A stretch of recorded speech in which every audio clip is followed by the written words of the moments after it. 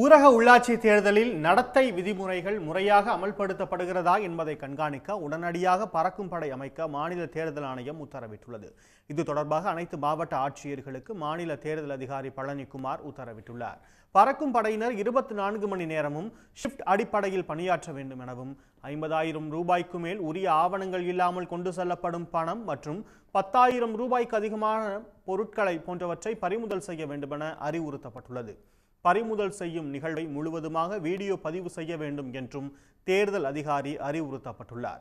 ஒன்று அல்லது மூன்று ஊராட்சி ஒன்றியங்களுக்கு ஒரு பறக்கும் படை என்ற விகிதத்தில் அமைத்து தேர்தலை சுதந்திரமாக நடத்தி நடவடிக்கை எடுக்குமாறு மாவட்ட ஆட்சியர்களுக்கு மாநில தேர்தல் அதிகாரி உத்தரவிட்டுள்ளார்.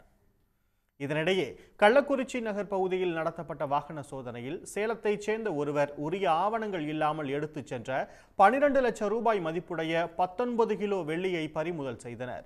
இதேபோல் திருக்கோவிலூர் அருகே வாகன சோதனையில் ஈடுபட்ட பறக்கும் படையினர் இருசக்கர வாகனத்தில் வந்த இருவரிடமிருந்து உரிய ஆவணங்கள் இன்றி எடுத்து வரப்பட்ட ஐம்பத்தி ஆறாயிரத்து ஐநூற்று ஐம்பது ரூபாயை பறிமுதல் செய்தனர்.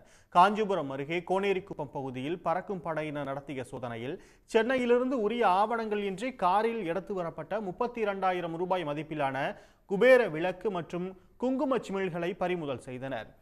ஐங்காரக்குளம் பகுதியில் மற்றொரு பறக்கும் படையினர் நடத்திய சோதனையில் உரிய ஆவணங்கள் இல்லாமல் எடுத்து வரப்பட்ட ஒரு லட்சம் ரூபாய் பணம் பறிமுதல் செய்யப்பட்டது.